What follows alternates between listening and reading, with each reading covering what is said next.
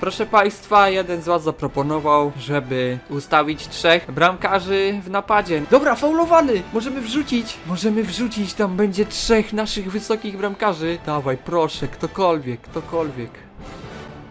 Dobrze, Boruc! Boruc! Niemożliwe! Nie, nie, nie, nie, nie, nie. Nie mam, brak mi słów, nie mam pytań. Ja wychodzę. To już wystarczy wszystko. Boruc. Do widzenia.